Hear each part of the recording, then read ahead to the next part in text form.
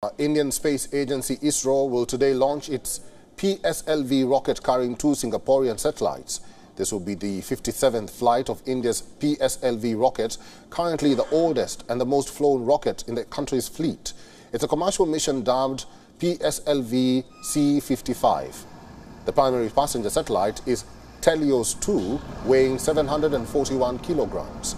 Once deployed and operational, TeLEOS 2 will be used to support all-weather day and night satellite imagery requirements of agencies within the government of Singapore.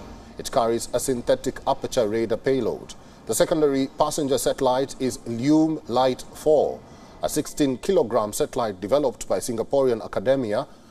Lumelite 4 is developed for the technological demonstration of the high-performance space-borne VHF data exchange system. It aims to augment Singapore's e-navigation maritime safety and benefit the global shipping community. In addition to the two primary satellites, there are seven non-separating payloads that are on board the PSLV rocket. These experiments will be housed within the fourth and final stage of the rocket. According to ISRO, PSLV C-55 mission will carry out in-orbit scientific experiments by using the spent PS4 stage as an orbital platform. This is the third time that PS4 will be used after satellite separations as a platform for experiments.